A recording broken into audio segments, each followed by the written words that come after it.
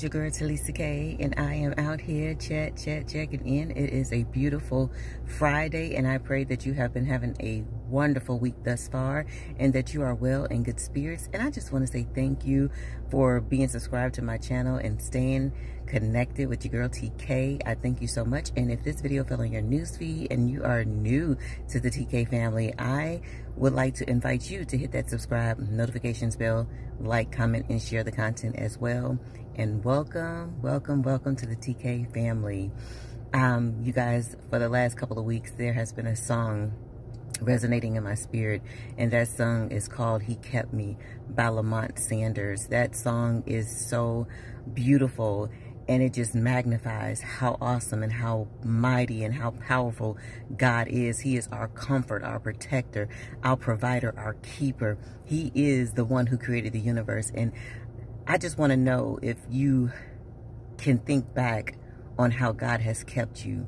He kept you from the accident that was ahead on the highways and byways when you were running a little late and you got a little frustrated because you spilled something on your shirt or something happened with your wardrobe.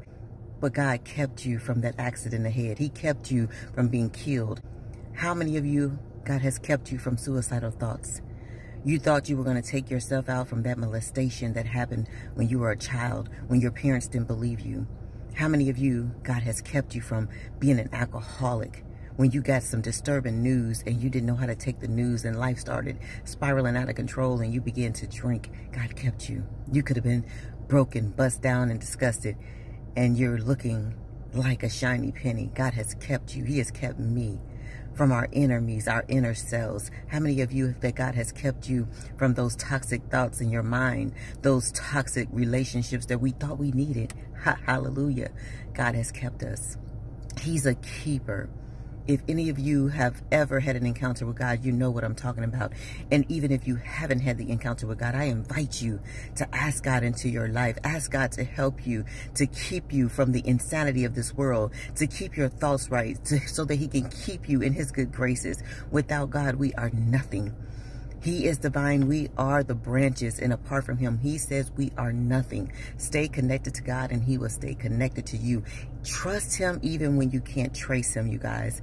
I just want to share this quick word with you all that God has kept us. He has kept me. He has kept you. We don't know what was ahead. We don't know what is ahead, but we know who is ahead and above all things, and that is Jesus and God Almighty. So we just want to give God the glory in this time to say we thank you, Lord. We thank you for keeping us in our right mind.